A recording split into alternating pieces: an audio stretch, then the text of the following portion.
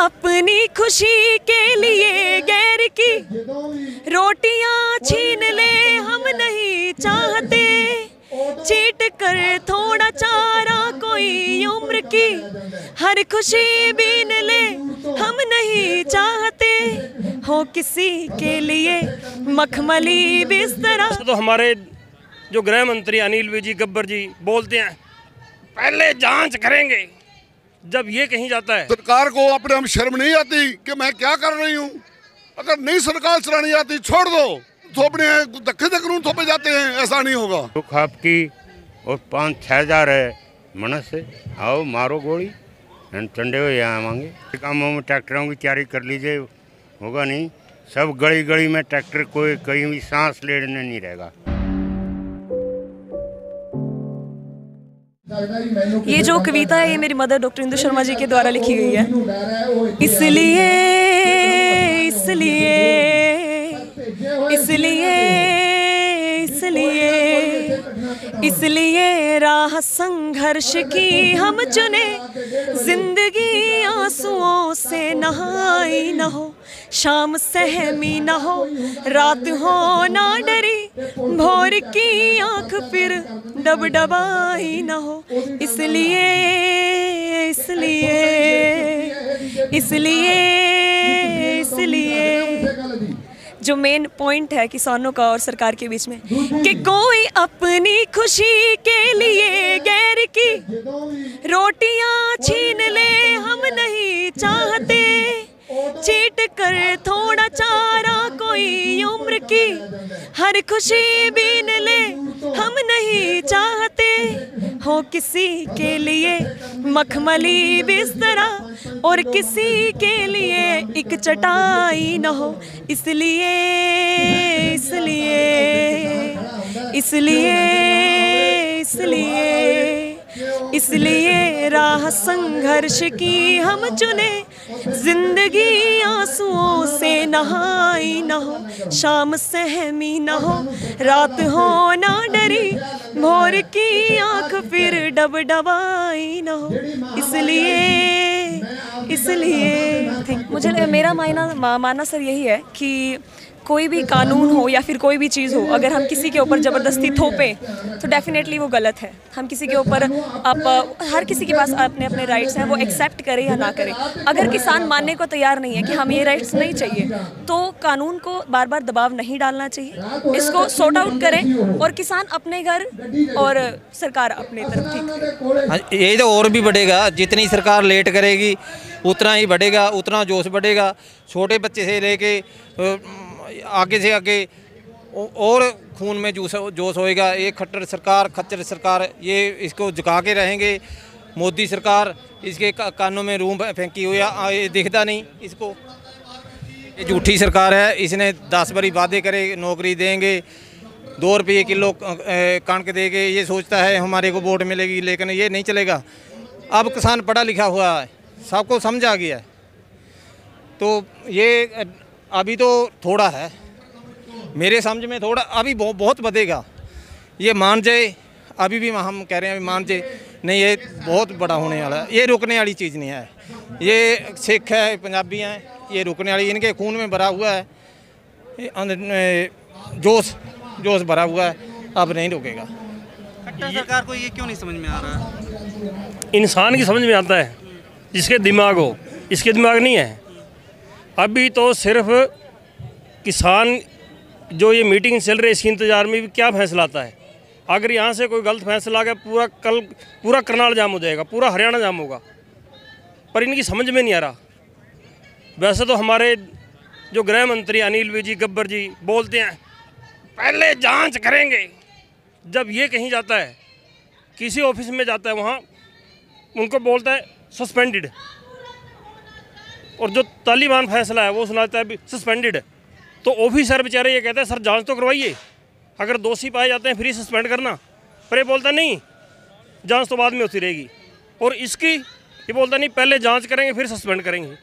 तो ला सब के लिए एक होना चाहिए ना कि किसानों के लिए अलग और ऑफिसर के लिए अलग। तो ये तो और बहुत ज़्यादा बढ़ेगा। जितना लेट करेंगे, उतना ही बढ़ते ही जाएगा ये तो। अभी तो इस जो अभी मीटिंग चल रही है सिर्फ़ इंत- इसका इंतज़ार में पब्लिक भी अंदर से क्या फैसला आता है।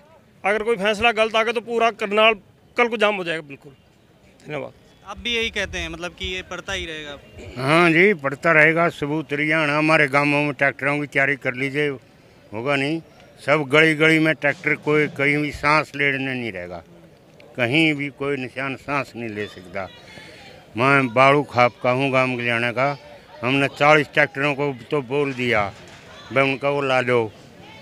ऊपर को तिरपाल, उन पर तिरपाल लगा लो, बारिश भी उसका है के बेरा कोई चलाना पड़ जाए वहीं टोक हो जाए, चालीस ट्रैक्टर हरदम तैयार रहो। बाकी इतने नहीं मानेगी सरकार, मैं भी पहले दिन हो रहा था बिना तैयारी से पूरे हूँ ना जानता उनकी बुलाया था मैं ना भाई, फिर बोले हमने चालीस ट्रैक्टर और पलट ला के तैयार कर देंगे। नहीं अंदाजे हम तना कल नहीं छोड़ेंगे। लेकिन फोर्स भी तो बढ़ रही है। आप लोग बढ़ रहे हैं तो फोर्स भी तो बढ़ाई जा रही है। बेशक फोर्स तो कितनी है वहाँ पर हमारी कम से कम भी तीन हज़ार जनानी भाड़ू खाप की और पाँच छः हज़ार है। मनस आओ मारो गोली एंड चंडे हुए यहाँ आवांगे क्या लगता है फोर्स बढ़ाई जा रही है उसको लेकर सर क्या होगा फोर्स बढ़ाने से? नहीं हमने फोर्स का फोर्स बढ़ाने से क्या होगा? जो पब्लिक के मन में रोष है वो तो नहीं ना कम होगा। वो तो रोष बढ़ते ही जा रहा है बल्कि। ये मूर्खता है गवर्नमेंट की है ये पब्लिक को समझाए पब्लिक को शांत करे और इसको सस्पेंड करे। तभी पब्लिक मानेगी वैसे नहीं मानेगी। फोर्स बढ़ाने से क्या होगा? कितने को मार देगी फोर्स आपने देखा यहाँ करनाल थोड़ा सा लाठीचार्ज हुआ था पूरा हरियाणा पूरा पूरा पंजाब और यूपी पूरा जाम हो गया था। तो फोर्स बढ़ाने से कुछ नहीं होगा। जितनी मर्ज़ी फोर्स बढ़ा ले कुछ नहीं होगा। सिर्फ़ किसानों की सुने इस समस्या का हल तभी होगा वैसे नहीं होगा। कुछ लोग कह रहे हैं कि सिर्फ़ चढ़ूनी जी के इसको लीड कर रहे हैं बाकी किसान नेता यहाँ पे हैं ही नहीं।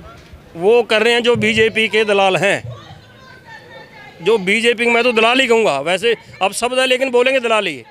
जो ये बात कह रहे हो बीजेपी के दलाल हैं वो। वो किसान नहीं है। वो खुद इनके आदमी हैं वो। हम छोटे किसान हैं और किसान है ये तो पहले तो यही नहीं मानते थे भी किसान है ये। हम किसान हैं ये सभी किसान हैं। पहले तो यही नहीं मानते थे किसान ही है। कभी बोलते कांग्रेसी है कभी खालिस्तानी है कभी पाकिस्तानी है कभी कुछ है। लेकिन चलो इसका दिमाग इतना काम तो कर गया भी किसान तो मानता है। तो ये ये कहता था हरियाणा के तो किसान ही नहीं है। ये देख लो हरियाणा के किसान है कोई पाकिस्तान से थोड़ी आए हैं। ये जो दो किले वाला मजदूर हुआ जी किसान वो किसान नहीं होता दो किले वाला मजदूर हुआ वो हम मजदूर किसान खड़े यहाँ पे। ये ये झूठ बोल रहे जो मोदी ये मोदी बोल रहे झूठ बोल रहे किसान नहीं है ये किसान नहीं है किसान नहीं है जी इतने। ये सारे अमीर हैं सब गरीब हैं सब किसान हैं। क्या लगता है जितना मीडिया में उठना चाहिए बात वो आप लोगों तक पहुँच रही है? नहीं वो बात पहुँच रही है लोग अपनी बात बोल भी रहे हैं और ये सरकार जो है ये सिर्फ़ एक डंडे का राज के ऊपर अपना काम करना चाहती है लेकिन ऐसा कभी नहीं होता। बातचीत से ही इसका सोल्यूशन निकलता है। और ये जो अट्ठाईस तारीख को जो कार्रवाई की गई है इसकी भर्त्सना पूरे देश में हो रही है। और यही एक तरीका था लोगों को जो आज शांतिपूर्ण धरना यहाँ पे किया हुआ है। और कल भी एक मीटिंग है उसी के हिसाब से ही काम चलेगा और बातचीत होगी और बातचीत में सोल्यूशन निकालने की कोशिश करेंगे। बातचीत तो विफल रही दो तीन बार की। मैं तो इतना ही कहूँगा इधर जो बैठे हैं पुलिस अफसर जितनी पुलिस बैठी है, ये भी हमारे किसानों के बच्चे हैं, ठीक है? इधर बैठे हैं, ये किसान हैं। तो दोनों तरफ़ ही किसान ही किसान हैं, और कोई नहीं है। तो हमेशा किसान की तो किस्मत ही खराब है। कभी ज़्यादा बरसात हो जाती है, किसान की फ़सल तो बर्बाद।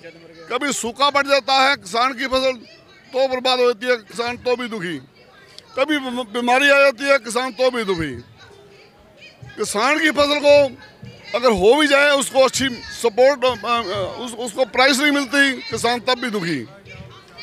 तो अब जब से भारत आज़ाद हुआ है सन सैतालीस से लेके आज तक ऐसी सड़कों पर जिम्मेदारों की हालत कभी नहीं हुई थी जो आज जो पुलिस के कर्मचारी हैं वो भी किसानों के बच्चे हैं, वो भी सड़कों पर रुल रहे हैं।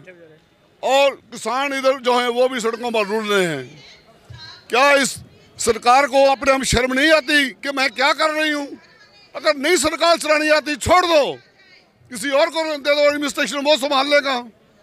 इनसे तो अंग्रेज़ भी अच्छे थे। अंग्रेज़ों के राज में भी ऐसा नहीं हुआ था जो ऐसा आज हो रहा है।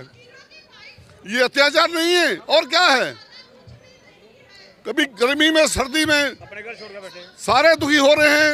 एक घर एक दिन अपने घर से बाहर जाओ तो आदमी दुखी हो जाता है। ये कितने समय से बैठे हुए हैं बॉर्डर पर दिल्ली के बॉर्डर पर ये कोई इंसानियत नहीं है। ये हवानियत है। और फिर उनके ऊपर लाठियाँ बरसाना। जो बात करनी है, आराम से बात करो। कानून थोपने हैं धक्के से कानून थोपे जाते हैं, ऐसा नहीं होगा। जो थोप रहे हैं, इनको किसने बनाया है? इनको ज़मीन इनको पब्लिक ने बनाया है। तो पब्लिक ही इनको उतार देगी। थोड़े दिन की बात है, ज़्यादा दिन नहीं ऐसा चलता का। ये अत्याचार ज़्यादा दिन नहीं चलेगा, ना ये ज़्यादा देर पावर चलेगी। ये कुछ दिनों की है। इसको चाहे मिस यूज़ कर लो, चाहे राइटली यूज़ कर लो। बस मैं तो यही कहूँगा कि परमात्मा इनको अकल दे। और सारे जो पुलिस अफसर हैं जिम्मेदारों के बच्चे, वो भी अपने घर जाएँ और जिम्मेदार भी अपने घर जाएँ, आराम से सुखी रहें खबरों में बने रहने के लिए फोरम फोर को सब्सक्राइब करें और नोटिफिकेशन पाने के लिए बेल आइकन दबाएँ।